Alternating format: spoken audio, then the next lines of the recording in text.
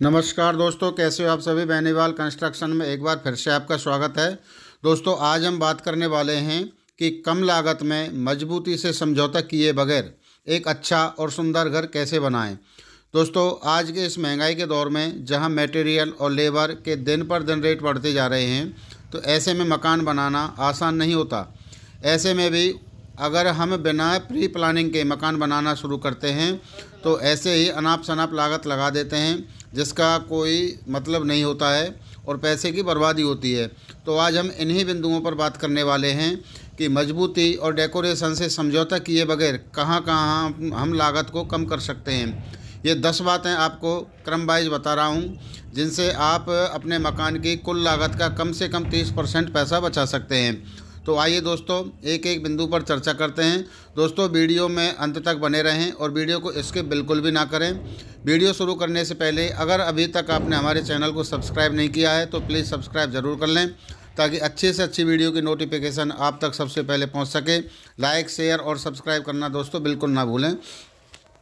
तो दोस्तों, पहला जो स्टेप है, वो मैं आपको बता देता हूँ। मकान बनाने से पहले अपन को क्या करना है? घर बनाते समय सबसे पहले जो स्टेप आपको लेना है कि सबसे पहले आप किसी अच्छे आर्किटेक्ट से अपनी ज़रूरत के हिसाब से घर की एक ड्राइंग तैयार करा लें। इससे क्या होगा कि आर्किटेक्ट जो ड्राइंग तैयार करके देगा, वह स्ट्रक्चर के लोड को डिवाइड करते हुए जहाँ आवश्यक होगा, वहीं कॉलम लगवाएगा और कॉलम बीम और छत की सरिया भी लोड के हिसाब से लगवाएगा।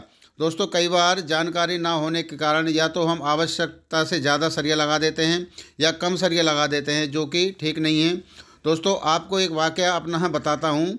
मेरे एक मित्र का कंस्ट्रक्शन का कार्य चल रहा था तो एक दिन मेरा वहाँ जाना हुआ तो उसकी छत की बंधाई हो चुकी थी।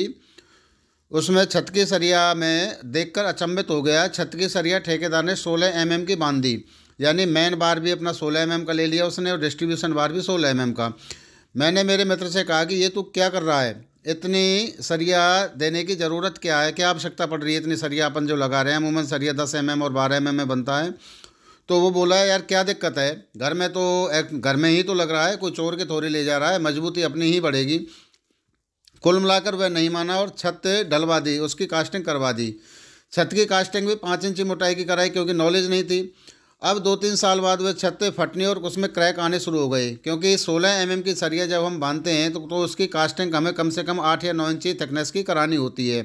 तो उसका काफ़ी नुकसान हो गया। उसे छत दोबारा से तोड़वा कर डलवानी पड़ी।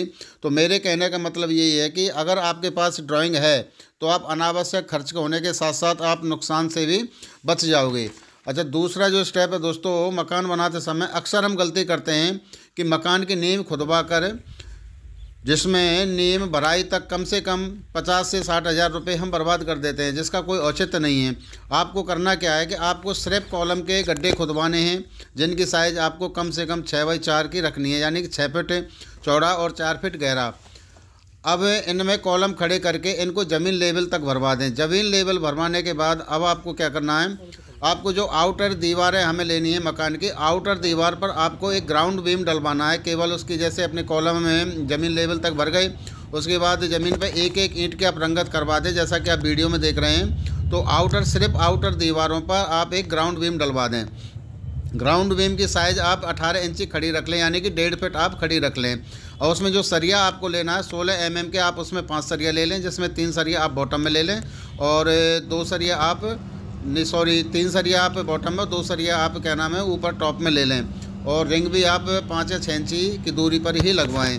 तो इससे आपको क्या होगा कि जो कॉलम हमारे होते हैं, उनको सबको ये बाइंड कर देगा और आपको कोई भी उसमें दिक्कत नहीं है। अब दोस्तों, अब नीम खुदवाने के बाद भी आपको ग्राउंड बीम देना होता है तो क्यों हम एक्स्ट्रा लागत नीम में लगाएँ?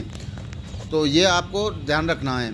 अब इसके बाद आपको जो आउटर दीवारें हैं ग्राउंड बीम डलने के बाद आपको सिर्फ़ आउटर दीवार डीपीसी तक करनी है, यानी कि जो आउटर दीवार है हमारी, वो डीपीसी तक जो सड़क लेवल है, उससे आपको कितनी हाइट रखनी है, उतनी दीवारों की आप हाइट कर लें ये सिर्फ़ आउटर दीवारें ही आपको लेनी है, अंदर की दीवार इसमें आपको नहीं लेनी है। जैसे कमरा या किचन या लेट बाथ की दीवार है, वो आपको नहीं लगानी है। सिर्फ़ आउटर दीवार आपको करनी है और सारे कॉलम आपको डीपीसी लेवल तक भरने हैं, क्योंकि अंदर की दीवार का मजबूती के लिहाज से कोई रोल नहीं होता, उसमें सिर्फ़ फिजूल खर्चे के अलावा कुछ भी नहीं है। इसका मजबूती के हिसाब से कोई रोल भी नहीं होता है। इसके बारे में आपको अगले पॉइंट में बताऊँगा। अंदर की दीवार लगाने वाली ईंट, सीमेंट, बजरी और लेबर का सारा खर्चा आपका बच जाएगा, जो कम से कम सत्तर से अस्सी हज़ार रुपये के बीच में होगा। आउटर दीवार करने के बाद आपको इसमें मिट्टी की भराई करानी है, जो अपन भर्त को बोलते हैं, वो मिट्टी की भराई आपको इसके लेवल तक करा देनी है। मिट्टी भराई के बाद आपको सारे कॉलम, चाहे वो अंदर के हैं या बाहर के, यानी कि जहाँ आपके कमरों की दीवार या रसोई की दीवार या लेट बाथ की दीवार आनी है, उन सभी पर आपको एक डीपीसी बीम डालना आसान भाषा में आपको बता दूँ कि जहाँ भी आपकी ड्राइंग के हिसाब से दीवारें आ रही हैं, उन सभी पर आपको डीपीसी बीम डालना है। उसकी रंगत करके जैसे आपने मिट्टी का भर्त करा दिया, मिट्टी का भर्त करा के जहाँ जहाँ आपकी दीवार आनी है, उसमें या तो आप पटिया बिछवा दें, पत्थर होता है वो बिछवा दें, या फिर एक एक दो दो ईंट की आप रंगत करवा दें लेवल लेके। उसके ऊपर आपको डीपीसी बीम डालना है, जिसमें भी आपको सोलह एम की पाँच सरिया ही लेनी है, जिसमें तीन बॉटम में और दो टॉप पर आपको रखनी है। इस बीम के डलने से आपके स्ट्रक्चर का लोड डिवाइड हो रहा है, क्योंकि ग्राउंड बीम अपना लोड ले रहा है और डीपीसी बीम अपना लोड ले रहा है। अब इसके बाद आपको दूसरे जो पॉइंट करना है डीपीसी बीम डलने के बाद आपको अंदर की दीवार सारी चार इंची रखनी है, क्योंकि अंदर की दीवार का काम सिर्फ़ पार्टीशन का होता है, मजबूती के हिसाब से इसका कोई संबंध नहीं होता है, और और चार इंची की दीवार का सारा लोड डीपीसी बीम पर डिवाइड हो जाएगा।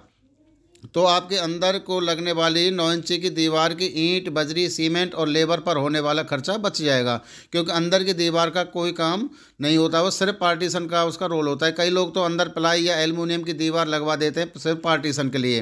हाँ आउटर की दीवार आपको सेफ्टी पर्पज़ के हिसाब से नौ इंची की ही रखनी है।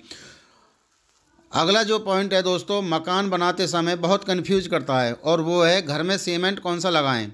दोस्तों, मार्केट में इतनी सारी सीमेंट की ब्रांड आ गई हैं जिनकी कोई गिनती नहीं है और घर का निर्माण करते समय सारी कंपनियों के सेल्समैन और डिस्ट्रीब्यूटर आपके पास गिद्ध की तरह मडराने लग जाएँगे कि, सर, हमारा सीमेंट वाटर प्रूफ है, इसमें सीलन नहीं आती है, सरिया में जंग नहीं लगेगी। मतलब आपका टोटल ब्रांड वाश वो लोग कर देंगे और आप उनकी बातों में आकर वाटर प्रूफ के नाम पर महँगा सीमेंट ले लेंगे, जिसकी कीमत लगभग साढ़े चार सौ के आसपास होती है।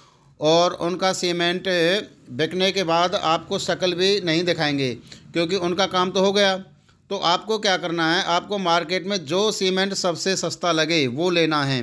बस उसमें आपको देखना है कि उसकी पैकिंग डेट और एक्सपायरी डेट क्या है, जो सीमेंट के बोरे पर लिखी होती है, चाहे वो किसी भी कंपनी का हो। अगर सीमेंट ज़्यादा पुराना है तो आपको नहीं लेना है। दूसरा, आपको नकली सीमेंट नहीं लेना है। आजकल नकली सीमेंट की मार्केट में भरमार है। इसके लिए आपको कंपनी के ऑथराइज डीलर से ही सीमेंट खरीदना है। या कंपनी के मार्केट सेल्समैन से संपर्क करके लेना है। इनके नंबर आपको सारी कंपनियों के नंबर गूगल्स पर मिल जाएँगे। मैं किसी भी पर्टिकुलर सीमेंट कंपनी का आपको नाम नहीं ले रहा हूँ, क्योंकि ये कोई प्रमोशनल वीडियो नहीं है। आप जो चाहें जो कंपनी का सीमेंट ले सकते हैं। सिर्फ़ इसमें आपको पुराना नहीं लेना है। डेट आप पैकिंग पैकिंग डेट देख लें एक्सपायरी डेट बोरा पर देख लें, तभी आप खरीदें। उसके बाद आपको अगला जो बिंदु मैं आपको बता रहा हूँ, जहाँ अक्सर लोग अनावश्यक लागत लगाते हैं, वह है किसी घर की छत पर, वह है कि घर की छत पर फोर सीलिंग कराएँ या पीओपी दोस्तों, फोर सीलिंग कॉस्टली होने के साथ साथ इतना मज़बूत भी नहीं होता है, क्योंकि ये सिर्फ़ एक जाली से रुका हुआ होता है, जिसमें नट या बोल्ट के हिसाब से ये रोकते हैं छोटे छोटे पेच लगाते हैं तो कुछ साल बाद वो गलने शुरू हो जाते हैं तो फोर सीलिंग नीचे भी गिर सकती है। इसकी जगह पर आप पीओपी करा सकते हैं। पीओपी में भी एक से एक अच्छी डिज़ाइन आती हैं और काफ़ी सुंदर भी लगती हैं। यह इतनी कॉस्टली भी नहीं होती, अमूमन पैंतीस से चालीस रुपये फिट में हो जाती है। और अगर बात करें फोर सीलिंग की तो इसका रेट लगभग 150 से 160 रुपये फिट होता है। और ड्यूरेबल भी नहीं होता। अगर आपकी फोर सीलिंग करानी है तो गेस्ट रूम में या जहाँ आपके मेहमान आके बैठते हैं, वहाँ आप करा सकते हैं। बाकी जगह पर आप पीओपी कराएँ तो आप काफ़ी लागत बचा सकते हैं। इसके बाद आप जहाँ लागत कम कर सकते हैं तो आपको टाइल्स से या पत्थर में से टाइल्स का चुनाव आप करें, क्योंकि पत्थर कॉस्टली होने के साथ साथ इसमें लेबर का भी ज़्यादा खर्चा आता है। अगर हम मीडियम रेंज के मार्बल पत्थर भी लें तो 80 से 100 रुपये स्क्वायर फिट से कम नहीं आता है। फिर इसको लगाने और घिसाई सहित लेबर का जो रेट है, वो लगभग 50 से स्क्वायर फिट के लगभग होता है। तो पत्थर आपको लगभग डेढ़ सौ रुपये स्क्वायर फिट पड़ता है। फिर इसकी क्वालिटी भी कई बार ख़राब निकल आती है पीला पीला सा ये कलर छोड़ देता है, जैसे आपने देखा भी होगा कई जगहों पर तो ये काफ़ी भद्दा लगता है। वहीं टाइल्स की अगर बात करें तो मीडियम क्वालिटी की टाइल्स आपको 50 से 60 रुपए स्क्वायर फिट के हिसाब से मिल जाती हैं, और लेबर का रेट भी टाइल्स लगाने का लगभग 15 से 20 रुपये स्क्वायर फिट का होता है। तो इसमें अगर अंतर की बात करें तो लगभग सत्तर से अस्सी रुपये स्क्वायर फिट के आपसे अंतर आ जाता है।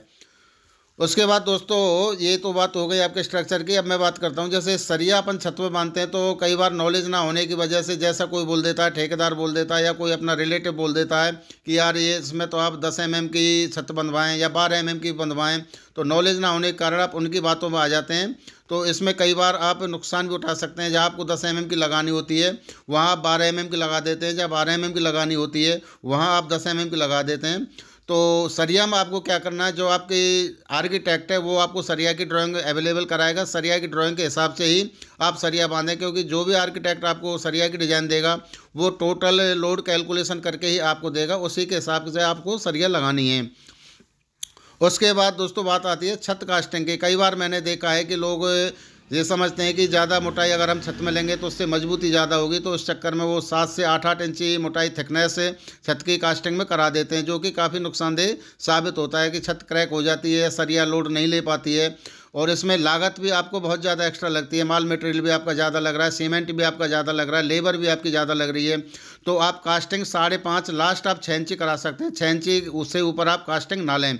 तो दोस्तों, ये दस बातें मैंने आपको बताई हैं, जिनमें आप मजबूती को ध्यान रखते हैं, जिसमें मजबूती में आपका कोई फ़र्क नहीं पड़ेगा और आपका मकान अच्छा रहेगा और इसमें लागत भी आपकी काफ़ी कम, तीस से चालीस परसेंट तक लागत भी कम आएगी। तो दोस्तों, ये सारी बातें मैंने आपको बता दी हैं।